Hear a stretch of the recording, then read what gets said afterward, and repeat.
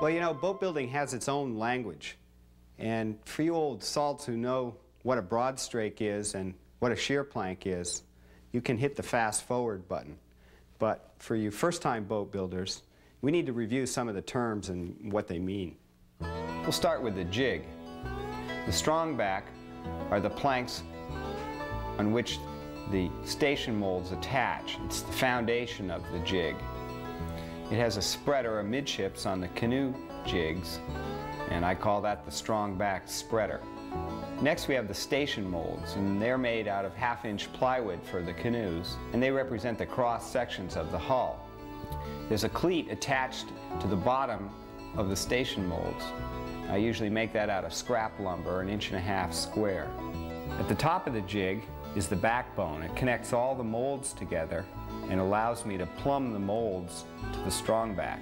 Next we have the ribbands. The ribbands are longitudinal clear stock.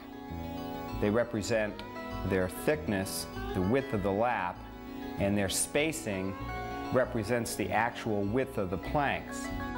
They run the full length of the jig, and it's important to make those out of clear, soft wood.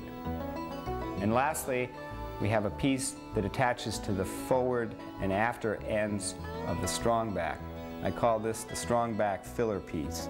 And it's a piece of one inch stock that has an angle cut on it, the same angle that the stem comes off the keelson. Now let's talk about the hull itself. The keelson is a longitudinal member like a keel, but is on the inside of the boat, the keelson. The stems attach at the ends of the keelson and beneath it. The planking is fastened to the stems. The garboard planks attach to the keelson and they're the first planks that go on the boat. Next, the second plank is the broad strake, which I sometimes refer to. That attaches to the garboard.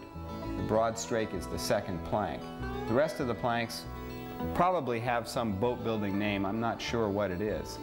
Down to the sheer plank. The sheer plank is the one at the gunwale, the very last plank or the top plank. Attaching to the sheer planks are the gunwales, or in-wales and out-wales, or sometimes called guardrails. There's an, one on the inside of the boat and the outside of the boat. They're spaced apart in my canoes with little blocks of wood that I call spacer blocks. The stems are the two curved pieces at the end in profile view. And on the outside of the stems we have a stem band, or sometimes called stem irons in the old days when they were made out of iron. These are 3 8 inch brass half oval that goes on the outside of the canoe and protects the outside edge of the stems. Once again, inside there's breast hooks. They're the little pieces up in the most forward ends of the canoe, forward and after ends of the canoe, and they attach the hull together where the ends meet. There's a floor piece in my canoes, which is a floor, and underneath it some wedge-shaped pieces, which I call sort of jokingly floor timbers. They're very lightweight, clapboard-shaped wedges that take up the space between the keelson and the garboard plank. And lastly, there's a thwart. Thwarts are, thwart is a term that is used with pieces that go athwart ships or across the center line of the boat.